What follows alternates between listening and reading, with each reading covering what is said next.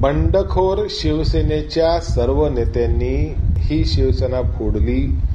मातोश्री सोबत दगाफटका केला. ठाकरे कुटुंबियांचा विश्वासघात केला आणि स्वतःच्या कृतीला योग्य आहे हे दाखवण्यासाठी त्याचं खापर जाणून बुजून राष्ट्रवादी काँग्रेस पार्टीच्या माथ्यावर मारण्याचा एक केविलवाणी प्रकार आहे.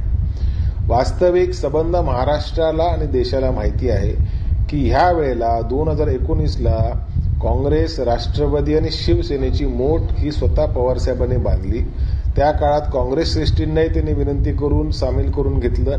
आणि शिवसेनेला मुख्यमंत्रीपद देत असताना स्वतः उद्धव ठाकरे साहेब मुख्यमंत्री झाले.